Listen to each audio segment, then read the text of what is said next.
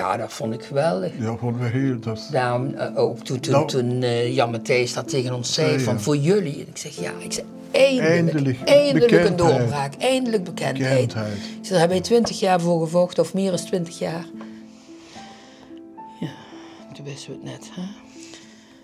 Deze is 18 geworden en Erwin is eh, 32 geworden. 20. 20. Hij was 20 jaar toen. Ook. En toen kwamen ze met het eh, gegeven dat Erwin waarschijnlijk een overerfelijke metabole ziekte had.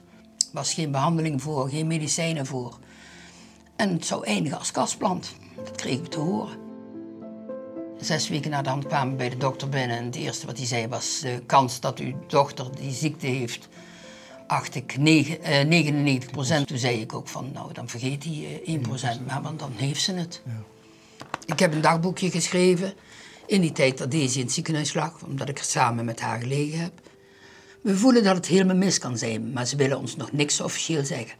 Gek genoeg vertelt de professor ons wel meteen wat de consequenties van de ziekte zijn.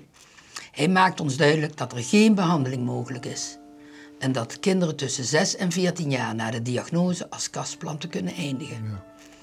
We hebben het gevoel dat we gek worden. Er moet toch medicijnen zijn? We kunnen het niet geloven. Slapeloze nachten. Ja, Ik ken dat niet zo goed. hè. hij kan er niet goed tegen. Ik heb er even moeite mee. Ja. Niet weten verliezen. Dat is de kamer van onze dochter. Voor deze, ja. Een slechte dag heb dan ik gezeten. Ja?